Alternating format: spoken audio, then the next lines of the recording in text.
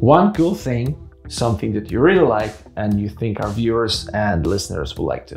It's a book, and I'll explain something. So basically, I used to, I was very into this writer when I was young because you, you learn it at school. He's a Portuguese writer, poet called Fernando Pessoa. And recently I was at an airport and I didn't have a book and I was like, oh, I just want to buy something. And I saw a translated version of this book I used to read when I was young. I was like, I'm just going to buy this. And I have been obsessed with it. In fact, this is the second one because the one I bought at the airport, I gave it to one of my friends um, to share. I feel like I just want to give this to everybody. Um, so this, this is brand new. And it's a different translation, it's a different edition. So it's actually quite different as well. But the, the, the It's called uh, the book of, Of Disquiet. Disquiet. Yeah. The thing about this, which I'm trying to explain, is so Fernando Pessoa is a Portuguese poet writer. Very short life. I think he died at 40 something. And he was born in the 1888. So we're talking about the beginning of the 20th century. And the incredible thing about this guy is that you know those writers who write under different names? They called uh, pseudonyms. So he didn't write under a different name. He wrote under different alter egos that he called heteronyms. He made up that word. And basically, he had three main alter egos he wrote under. So all these alter egos had um, a life, a different writing style, a date of birth, uh, like everything you can imagine they had.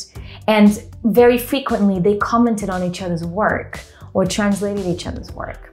and the incredible thing is, is that after most of, of um, his work was found after he died, and they found over 150 different alter egos. So this man here, this thing here, was the biggest genius, insane person. In this particular book, the Book of Disquiet, there's there's some stuff written under his own name.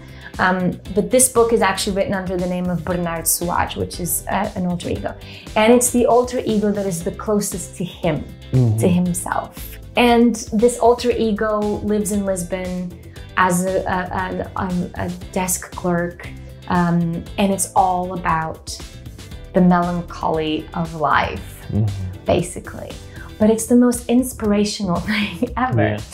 And so I wanted to share that. If anyone is interested in Fernando Pessoa, um, you should definitely go to Wikipedia and read about him. And um, and this particular book, I absolutely love. Maybe I should read something from it.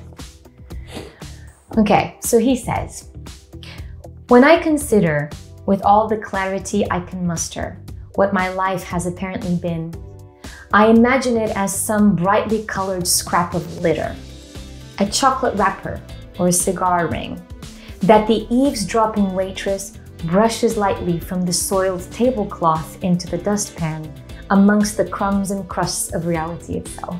Wow. So he's he's he's great. Yeah. He's uh, honestly, and I've I've had, and this is it. The book has been compiled after he died, out of thousands of scrapped papers. So every edition is a little different um, of the way they put it in order. And so it's a book that you can just pick up, open a page, and read. You don't have to read it from beginning to end. And um, yeah, it's considered one of the best works of the 20th century uh, that not many people know of. And um, yeah, it's my new passion at the moment. I love it. I love it. So, was it like his actual mental condition that he had split the personalities, or he invented them for I don't know. on purpose? I Yeah. don't know. I think he I think he had a very um, very big inner life. Uh-huh. And I, I think it could be both. Hmm. He was an alcoholic as well. Um, he was celibate apparently. Um, so I think there's a lot, a lot that it was just I don't know. Maybe he just wanted to create his own competition. Mhm. I don't know. He basically created a generation of writers, and it was all him. Mhm.